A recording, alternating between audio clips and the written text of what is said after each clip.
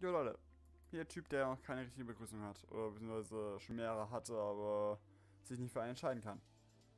Wir sind ja beim bei der dritten Folge, äh, bei der vierten Folge von der SV, SV Waldhof Mannheim Karriere.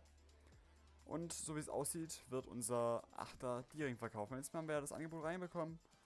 Und ja, der soll für 87.000 irgendwo nach China gehen, glaube ich. Gleichzeitig ähm, bin ich beim letzten vergessen habe reinzustellen, was ich jetzt nicht mehr machen kann. Wenn ich es nicht wieder vergesse. Ich, wieder, ich mal mag auf die Bank packen, weil er recht schnell ist. So, aber wir haben ja beim letzten Mal Kiana Höver vom FC Liverpool verpflichtet. Er hat hier auch Spiel mit seinen 17 Jahren, dass er sich auch weiterentwickelt. Jo, sonst passt die erste Mannschaft so. Ich würde sicher einmal, ich will ja auch nicht mehr Korte in die erste Mannschaft packen soll. Weil mir jetzt sehr gut gefällt, wenn ich mit dem selbst spiele. Und das Spiel gegen, den spiele ich jetzt ja eh selbst gegen äh, den HSV. Würde ich mal sagen, starten wir direkt rein. Und ja, ich hoffe mal, dass wir dann nicht zu arg unter die Räder kommen. Let's go.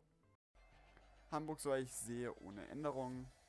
Also, aber halt mit Amaichi statt Yatta als Rechtsaußen oder statt Narei. Aber okay, soll uns nicht stören. Ist schon mal weniger Gefahr über die rechte Außenseite von Hamburg und let's go. Jovan Markovic mit dem Anstoß. Korte und direkt stört Hanek. Okay, das wird, das wird interessant zu spielen. Okay, Diering, Korte, Marco... Boah, stark von Markovic. So, jetzt auf McLennan, der den Ball äh, nicht bekommt. Ah, das ist jetzt ein Spiel, bei dem ich mich anstrengen muss. Ich merke schon. Das wird lustig. So, jetzt über Korte. Und ich verliere ihn mal direkt wieder. Ey. Den Zombie. Oh, dieser Kittel da auf links außen von Hamburg. Ah, ich weiß mir nicht, was ich sagen soll. Auf jeden Fall, Kittel, der links außen bei Hamburg spielt, das, der gefällt mir absolut nicht gerade. Der ist gerade so aktiv. Okay, wollen wir erstmal über andere Seite, dass wir nicht unbedingt an Kittel vorbeispielen müssen. So. Die Ring. Und, und von Moritz werden wir gestört. Kittel natürlich wieder am Ball. Ja, ich mag's. Ich mag das gerade nicht so. Die Situation ist mir gerade recht unangenehm. Und das fein. Amaichi Lindsay kommt dann nicht dazwischen und dann kommt der hohe Ball in die Mitte, wo Chandler den fangen kann. Immerhin das. Markovic. Nochmal Markovic vielleicht? Oder daran? Nee, da nicht. Ähm, Kittel gegen Höver. Okay, im Aus und bisher haben wir nach einer Viertelstunde noch nichts kassiert, von dem her easy. Plötzlich ist Korte auf links durch. In der Mitte ist Markovic an die Latte. Wäre ich ihn noch nicht äh, lupfen sollen gerade. Ja, der wäre wahrscheinlich eingegangen, wenn ich so mal geschossen hätte. Scheiße. Warum habe ich immer alles zu schön zu machen? Keine Ahnung. Bis zum nächsten Mal. Also bis zur nächsten Situation, die aufnehmen würdig ist. Ja. Ecke für Hamburg. In der Mitte ist Chandler, der fängt. Der hat den. Was ein Köpfe in der Mitte. Letschert holt sich den Ball. Ein Ball fein. Stark von Diering. Jetzt schnell. Markovic. McLaren stark. So. McLaren hat Freibahn. Jetzt den Rückraum oder selbst probieren oder Rückraum. So, Karte. 1-0 Karte. Das ist aber der Linksaußenkarte, glaube ich. Ich habe zwar keine Ahnung, wie der heißt, aber auf jeden Fall 1-0 für Waldhof Mannheim. Über rechts Conor McLennan hat da viel zu viel Platz, nachdem er an Leibert vorbei ist. Und dann Korte mit rechts ins linke Eck. Und da heißt Raphael Korte, okay. Dann haben wir uns jetzt immerhin schon mal ein Pol äh, Polster aufgebaut. Dass, falls Hamburg wird, äh, mal trifft, dass wir nicht im Zugzwang sind. Jo. Und schon wieder McLennan. Schon wieder McLennan. Und diesmal probieren wir es direkt und ist drin. Was ist mit Hamburg los? Wir sind hier komplett offen.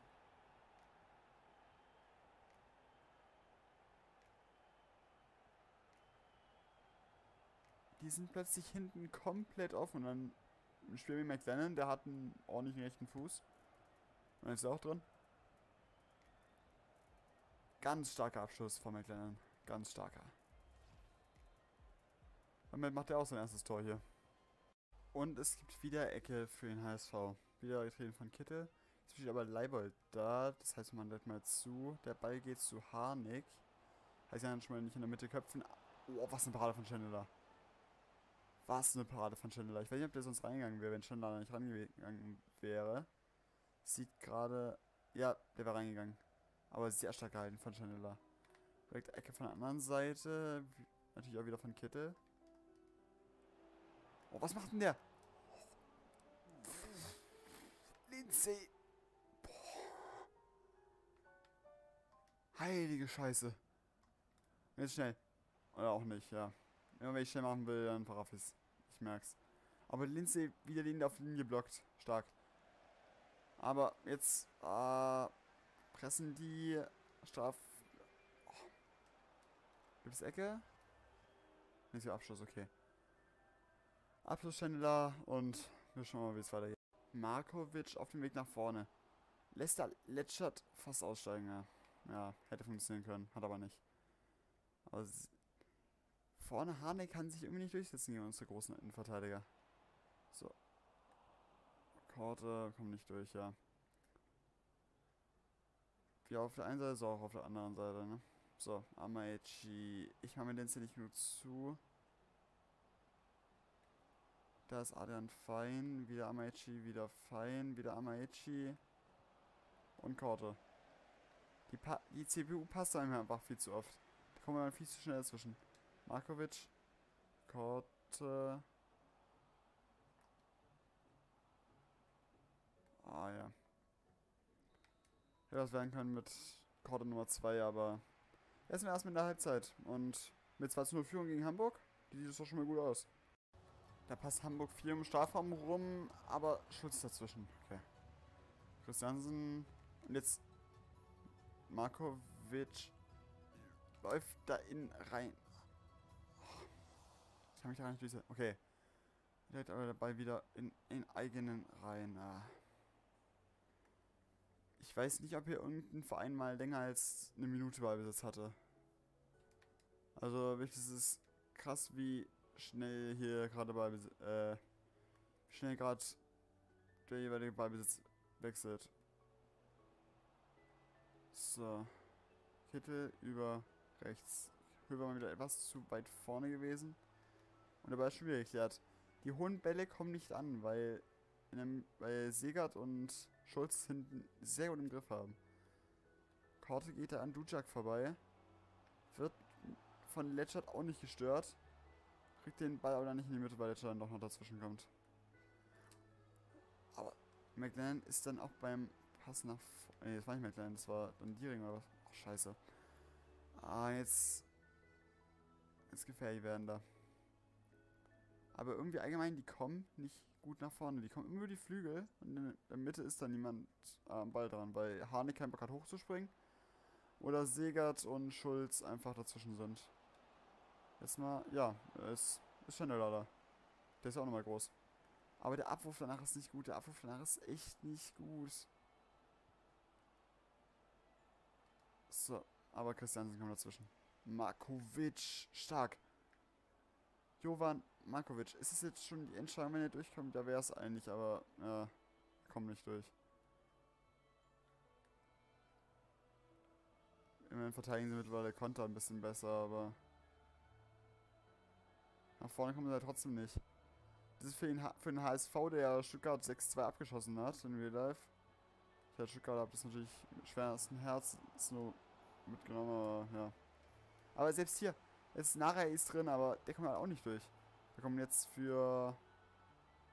Äh, wie waren das jetzt? Hab ich ja nicht ganz sehen. Ich glaub, ja. Hand kommt rein für Fein. Aber ein bisschen mehr Offensive bei denen. Das ist nicht genug von einem Aufstiegsaspiranten in der zweiten Liga gegen einen Drittliga-Aufsteiger.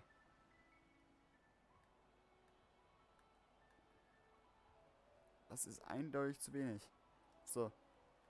So, Karte. Ich sage schon wieder viel zu oft so. So. Ja, ich sag's ja wieder. Nice. Jo. Ja, ich stehe einfach vor, nach vorne weiter und da ist macht nichts. Die spielen sich da hinten gerade schön den Ball rum. Und mir passiert nicht. Da habe ich jetzt die Linse aufgemacht, aber macht der wieder zu und der Ball ist raus.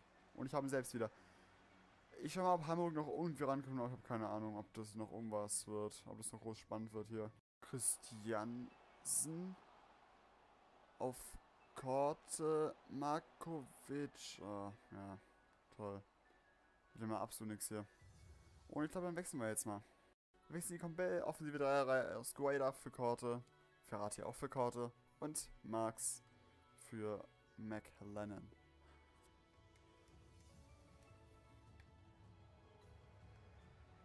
Jo. Mal schauen, wie sich das dann jetzt spielen lässt. Oder ob Hamburg hier jetzt noch irgendwas macht, damit hier noch irgendwie was anbrennt oder so. Aber wenn es so bleibt, haben wir den HSV ausgeworfen. Was für einen Drittliga-Aufsteiger jetzt nicht unbedingt schlecht ist. Ah, schon wieder dazwischen. Also ich bin von der CPU deutlich besseres gewohnt, obwohl, erstmal, die Sache ist ja, wenn ich jetzt mal in Einstellungen reingehe, ich habe die CPU ja auch noch hochgestellt hier. So ist es ja nicht, dass die jetzt hier alles so mit verraffen habe oder so. Ich habe die hier noch, ich habe die Sets von ihnen auch noch hochgestellt, aber nein, die verraffen es halt legit komplett. Keine Ahnung, was mit denen los ist. Markovic.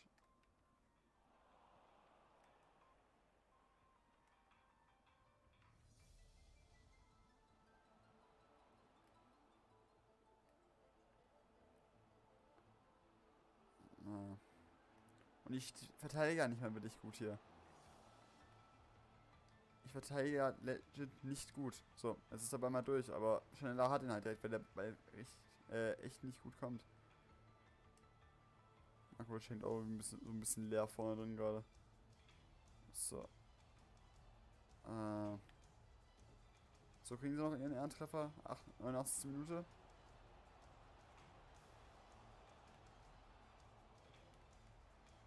Nee, Schindler hat da was gegen. Schindler einfach zu gut. Fünfte Ecke für Hamburg. Die sind komplett überlegen in diesem Spiel, aber kommen einfach nicht ans Tor durch. Da kommen sogar schon solche Gewaltschüsse aus der 18. Reihe.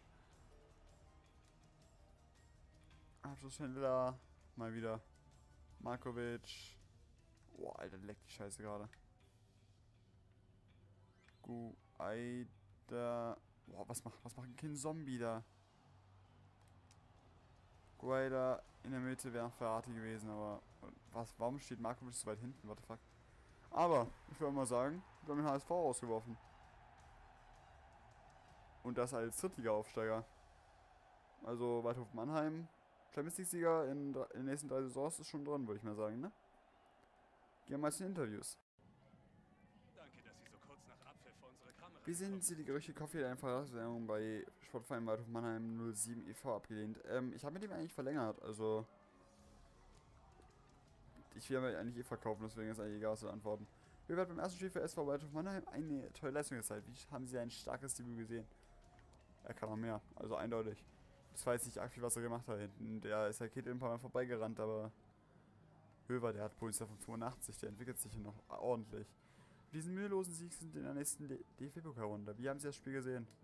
Ich bin zufrieden mit der Mannschaft, also da waren keine großen Fehler dabei. Und Hamburg hat halt aus irgendeinem Grund keine Stiche. Und schon wieder jemand, der Dering kaufen will. Und wir delegieren... De, de, de, ah, kann nicht reden. Wir delegieren es wieder. Sehr schwarz soll das eh verkauft werden, ist mir ganz ehrlich.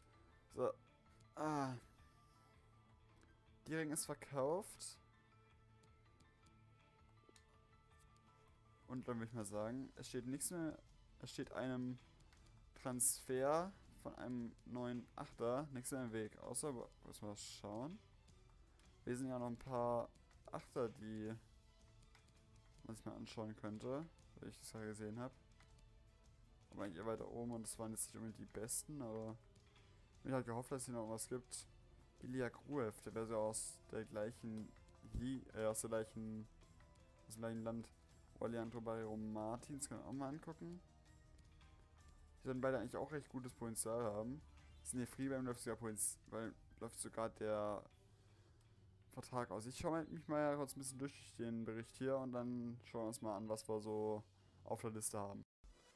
So, dann sind es jetzt hier die beiden geworden, die wir ja gerade eben schon gesehen haben. Ähm, ich habe mal geschaut, Iaguev hat zwar den, also die geringere Gesamtstärke, aber ein, Punkt, äh, ein äh, Potenzialpunkt mehr. Aber ich habe ja mal die Sets gesehen von Barry Martins, der gefällt mir von den Sets richtig gut, weil er so ein spielstarker äh, Achter ist, von dem ich ja schon beim letzten Mal geredet habe. Der ja eigentlich auch, äh, da, wie ähm, ähm, Diering war, aber eben hier nochmal ein ein bisschen schneller und deswegen würde ich den einfach direkt verpflichten. Weil erstens, er kommt aus dem, äh, spielt im gleichen Land wie wir, was halt auch schon mal für mich persönlich ein Grund ist, jemand eher zu als wie anders, weil es ist allgemein realistischer. Nehmen 800.000 an, okay. Hätte ich jetzt irgendwie nicht erwartet bei 1,5 Millionen äh, Fre äh, Freigabesumme. Den hätte ich jetzt schon so in der Marktwertrichtung erwartet, aber okay. Ähm, was, was für eine Rolle bekommt der Rotation? Mach ich mal, mal schauen, was er so will. Okay, er will wichtig sein, also will er auch neben Christiansen spielen, so wie es aussieht. Ja, der Vertrag laufen soll, fünf Jahre. Mal schauen, wie lange er da bleiben will. Er will fünf Jahre da bleiben, nice. So. Akzeptieren. Und er sagt sogar, was er, was er hier verdienen will. Beim SV Waldhof Mannheim. Und würde ich sagen, akzeptieren wir unseren nächsten Spieler. Leandro Barrero Martins, willkommen bei SV Waldhof Mannheim. Hat eine Gesamtstärke von 62, das gefällt schon mal. Also jetzt auch nicht so unfassbar weit weg hier vom Rest. Zwar schon weit weg, aber halt auch vom Potenzial her, ja, hat hier mehr Potenzial als so ziemlich jeder. Also vielleicht Christiansen und Höber und Chandler und halt alle, die wir neu dazu geholt haben.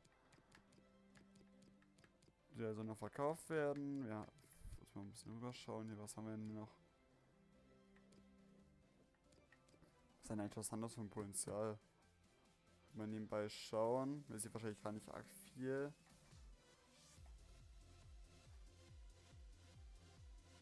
Ähm, ist nicht Jonathan? Also ich immer noch Los Santos. Weil eigentlich Jonathan Los Santos, der mir angezeigt wird, hat eine, 74, eine 78. Ich weiß nicht, dass es der ist. Ähm, wer ist denn mit vorne? Oh, ich glaube, es bringt nicht arg viel, weil wenn der arg Potenzial hätte, würde man es halt auch sehen, aber ja, nee. Ich glaube, allgemein in der dritten Liga gibt es bis auf Fischer Zirkzee vom äh, vom FC Bayern 2 nicht ein Spiel, der über 80 Potenzial hat, wenn ich so richtig im Kopf habe. Aber jetzt einmal sagen, das war's dann mit der Folge. Ich weiß nicht, wie lange die jetzt ist. Vielleicht ein bisschen kürzer als die anderen. Aber bis zum nächsten Mal und ciao.